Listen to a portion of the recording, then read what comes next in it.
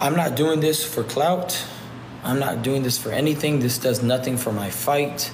This is just me trying to give the facts and the truth of what I've seen throughout the years. And during this point and this time, there's a lot of eyes on me. And I'm bringing awareness for the kids, the little kids that are hurting. I know you guys seen that video. I'm not even gonna say the name, but you know what I'm talking about. Starts with the J.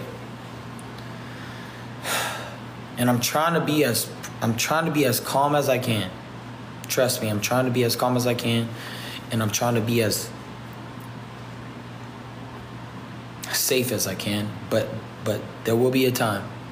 My why it, last fight was for my son Henry. I wanted to fight for him, and, and that's what I give the fight to. This time, it's for the children around the world. I'm gonna give you guys some facts, since some people want some facts. Three fast facts, and I got a paper here because everybody likes facts. They want papers, right? Everybody wants the proof? Okay. Well, let's go into this is surface level proof. This is this is common knowledge if you're really paying attention. Okay. The first fact with human trafficking, including sex trafficking, the global industry of human trafficking, including child sex trafficking, is estimated to be worth 150 billion annually. That's crazy. That's crazy. 150 billion annually. Do you understand what that means?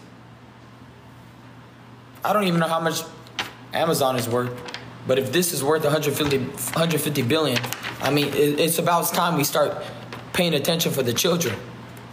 Number two, globally, the International La- Labor Organization estimates that 1.2 million children are trafficked each year. 1.2 million children are trafficked each year. Around the world. Around the whole world. The US, in particular, where we live, where I live, the US is the number one nation in the world for consuming child sex material. Now, those are the three facts. And, and I already know about this. I'm gonna go a little deep. No, don't worry.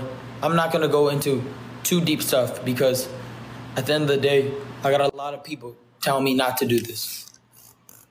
I